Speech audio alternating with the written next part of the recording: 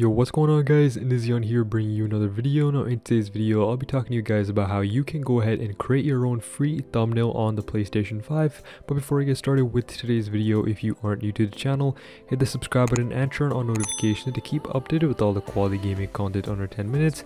And also be sure to check out my second channel, Nizeon Plays, as I am running a $50 gift card giveaway on it. Link to that will be down below in the description. And also I want to thank you to Prince to giving me this video idea uh, he commented down below and if you want to give your own video idea or if you need help with anything also be sure to leave it down there and you might be featured in a video soon. So essentially how you can go ahead and make yourself a free thumbnail or thumbnails on the playstation 5 it is actually very easy to do and it doesn't take that much time at all. Firstly i recommend you guys to get some screen captures or take screenshots by clicking the share button or holding down the share button depending on what your settings are for the, the capture screenshot option.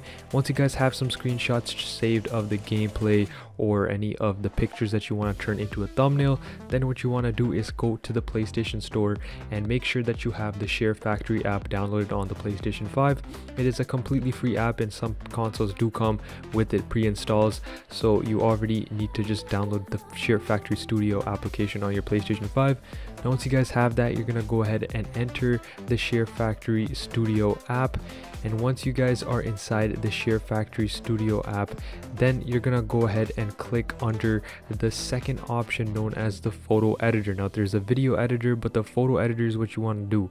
And then you're gonna click on start a new project and you can choose the whatever creator pack that you want to choose. I just went with the no creator pack. And then you get to choose your screenshots and etc and what themes that you want to put on it.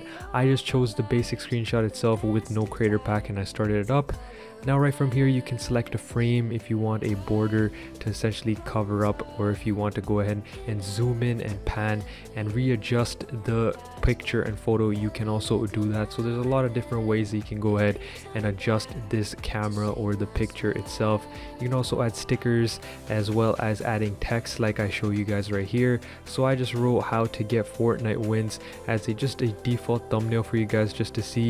You can also edit the layers edit the text move the text, change the color, the opacity. You can do a bunch of different things. Also, you can change the font as well as a bunch of different layer styles and the color of the font as well. You can resize, readjust, and do all of this. Now, once that is done and you're happy with the thumbnail that you've created, you just have to click the triangle button to save it.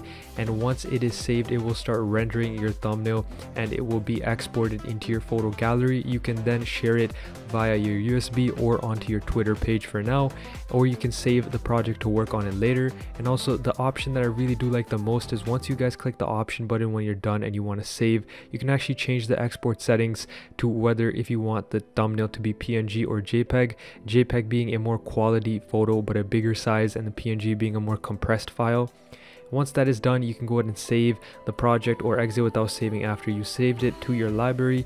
Then you can go into your capture gallery and plug in your USB and upload it straight to YouTube or wherever you want the thumbnail to go and that is essentially it. it is a very short tutorial but it's a very easy way on how you guys can use your screen captures or use your photos. You can also import your own photos from your usb onto the playstation 5 console and use the share factory to do so. All you need to do is upload the photos first and then use the share factory application. It's a very easy way to go ahead and make some free thumbnails for you guys without using any photoshop or anything. And all you really need is the playstation 5 so that's been it for today's video. If you guys have any questions comments or concerns please be sure to leave it in the comment section down below below.